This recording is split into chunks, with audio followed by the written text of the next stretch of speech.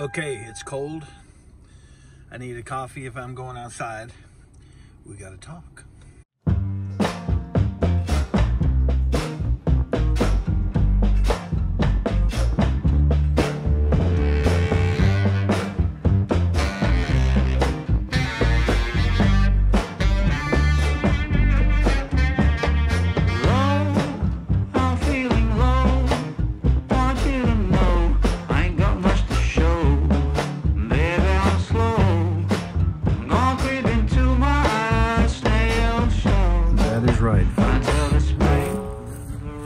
Guy they put in charge of placing benches got fired.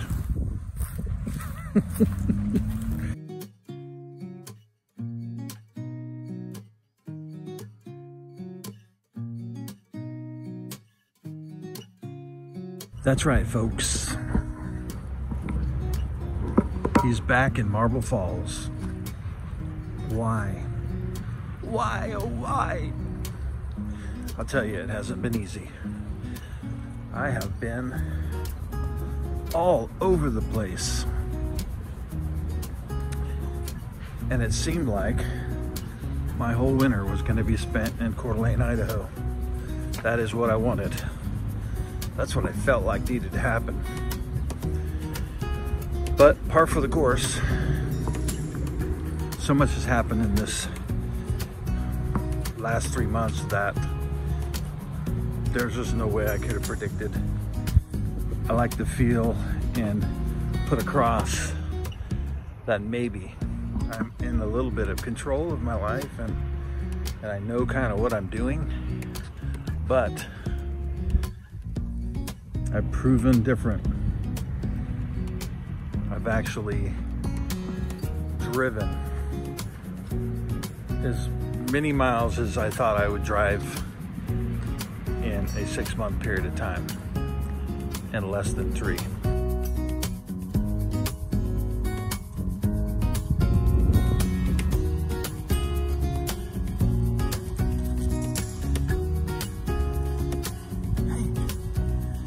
Again. So yeah, I'm here in Marble Falls again, the last place that I thought I would end up. I'm here for a number of reasons. I'm here because things did not go the way I planned. Though Wilhelmina has performed perfectly, she's been great. I have gone across the country. I started out in Texas, as you know. I closed my business and I drove um, through New Mexico and Arizona and to California, to Northern California, Monterey. Spent some time in Monterey on those beaches. Went up and spent a week or two in my brother's place, brother-in-law who has the brain cancer, at my sister's place.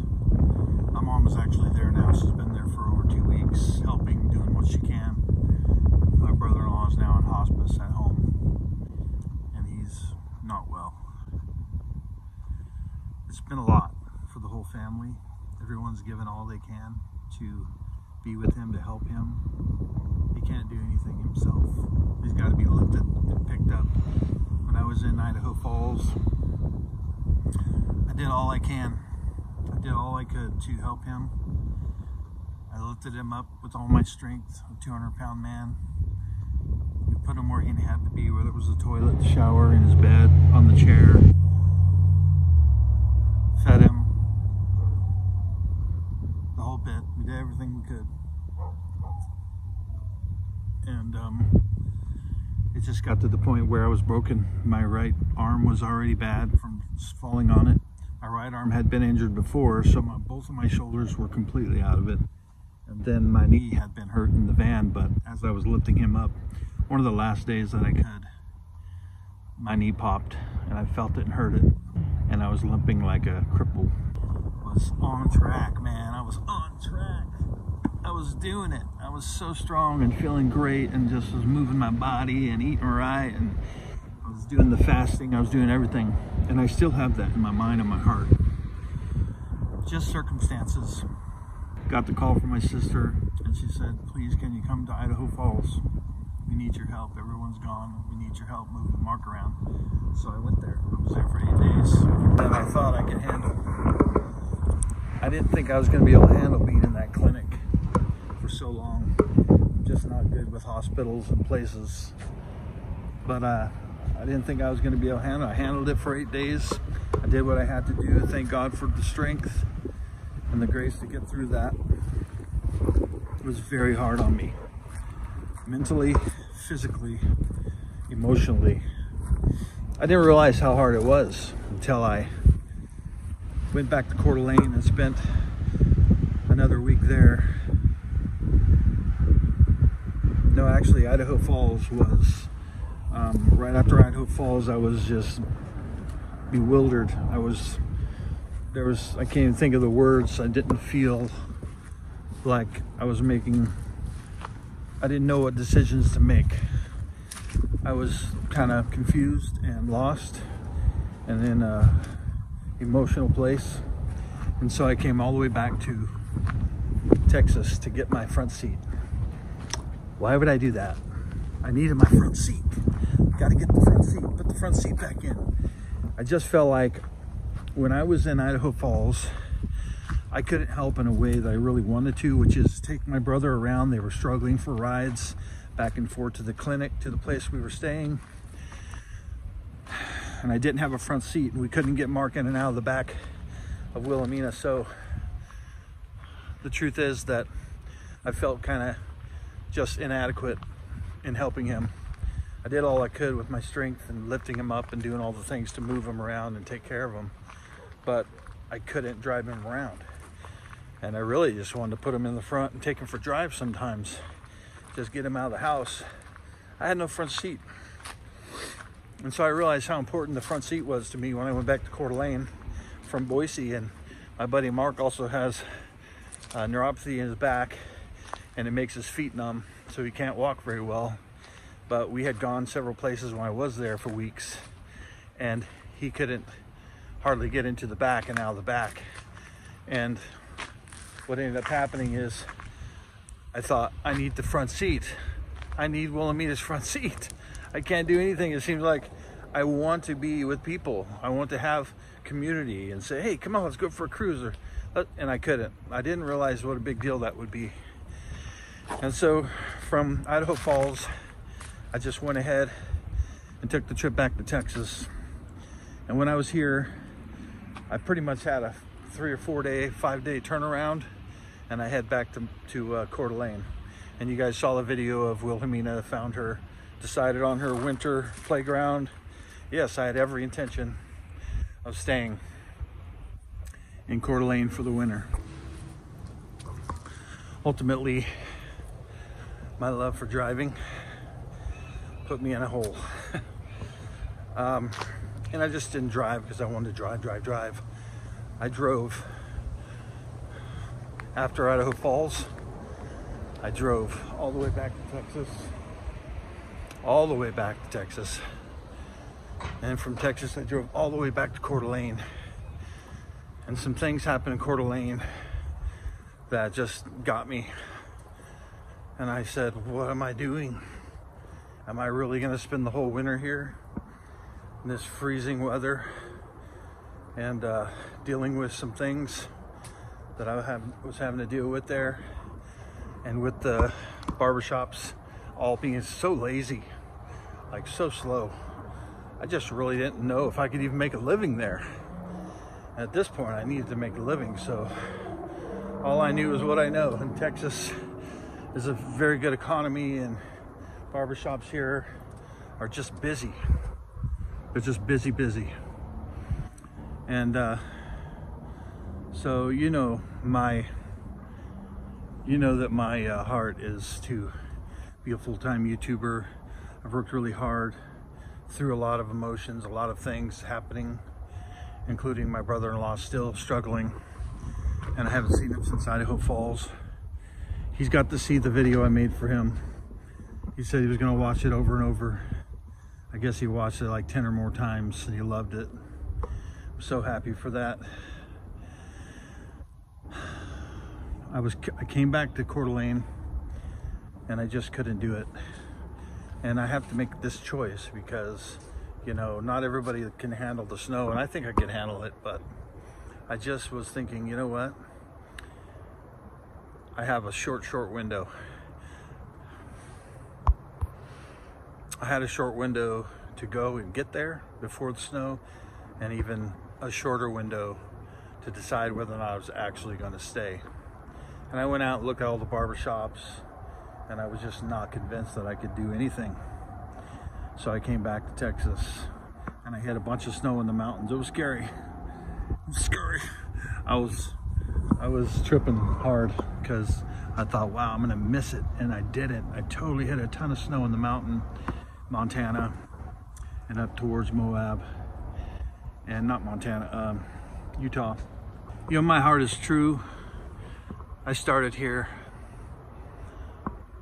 I wanted to make this last three months just work for me, work for the YouTube, do all kind of content. But if I felt like in every aspect and at every turn, I was hit by something else. It was like something was fighting against me to actually follow through and get to a good place where I was making consistent um, content, where I was being creative, where I was feeling good. I never got to that. I felt like I was seeing all the people that I've not seen in 25, 30 years. And I got to see all my friends and even my, met my niece for the first time. And that was good. It was good. I had a good time. I loved it.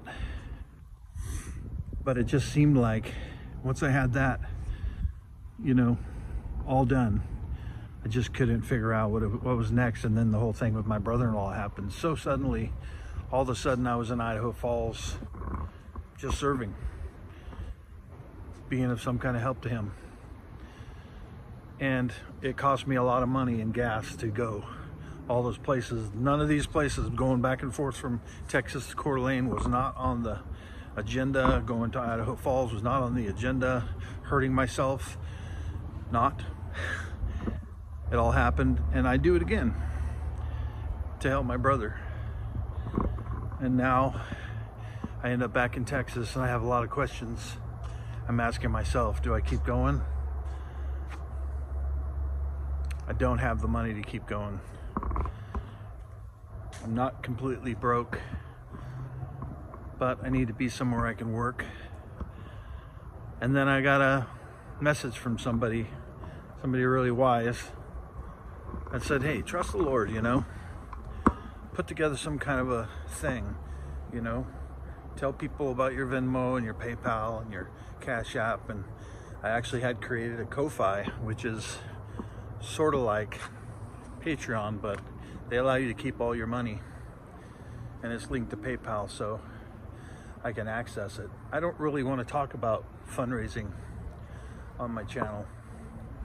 I do want you to know that we're almost to 700. My plan this year was to get monetized at a thousand with 4,000 watch hours in a one year period of time. And I think we could do it. It's going to take some doing. I'm going to have to, if I go somewhere, every step of the way is going to be trusting God. If I drive somewhere else, every step of the way is going to be trusting that another tank gas can be bought, that another bag of salad, which I'm trying to change my diet to. Um, lots of vegetables and fruit. I got to trust God. I got to trust that uh, this was Him telling me to do it. That's not easy, but the faith part's easy. Taking that step of faith, like getting out there and doing it, knowing that you're, you know, what's up, what happens if, you know. But like one of my old videos said, what if it all works out? What if everything works out? What if I put myself out there and it just all works out? And in the future, I'm just saying, man, do you remember? Do you remember when I was just practically broke and didn't think I could keep going? But I did. And everybody came through and the channel grew. And we got better at this. And now I'm full-time. Full-time YouTuber. I love to drive. I warn you guys. Drive.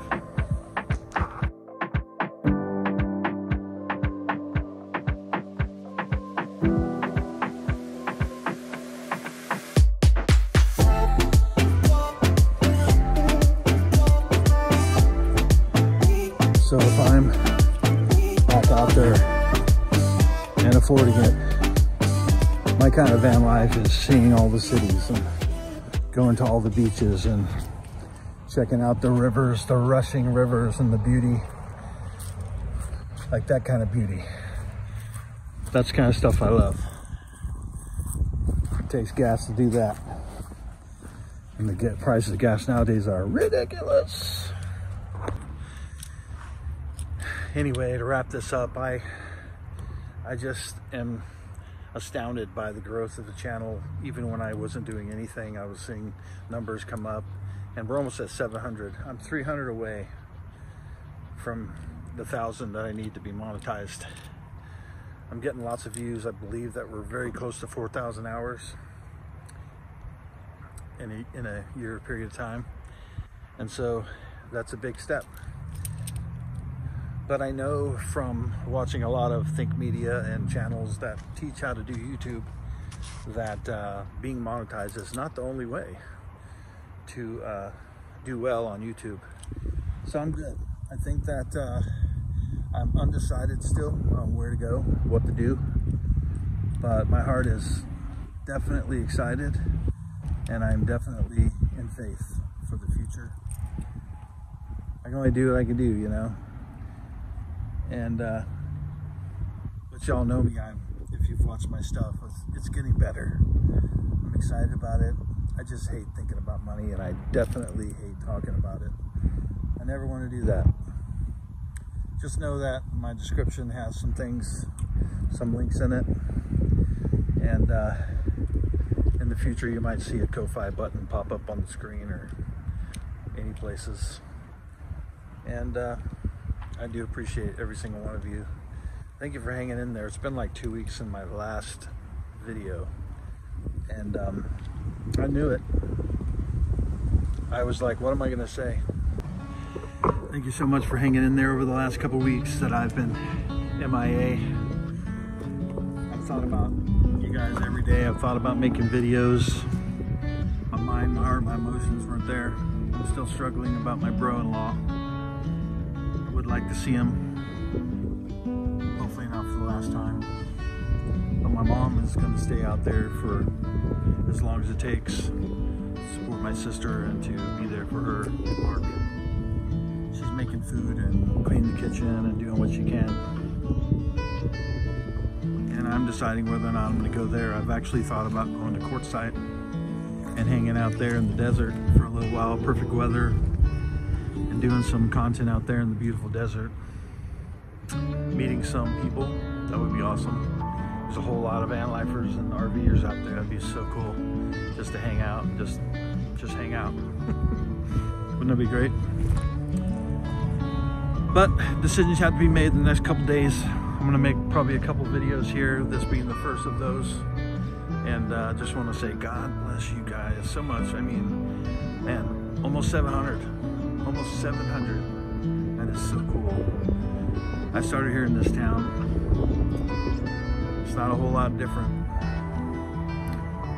But I started here and the dream has remained the same. But now I'm back here for a short period of time trying to figure out what I'm going to do. I do appreciate you. Thanks for liking the video and showing me care by uh, commenting. I love it that so many of you are commenting or communicating through the comment section. It's just so fantastic. Go check out my Ko-Fi for nothing else, just to see where it's starting at. You know, the future holds some awesome stuff. I'm a creative guy. I love making stuff. And in the past, I've had a t-shirt sticker company. I would love to do that for this channel and uh, create some some cool van life just adventure, overland type of stuff. Thanks again. I hope to see you very soon. Do all the good things with those buttons.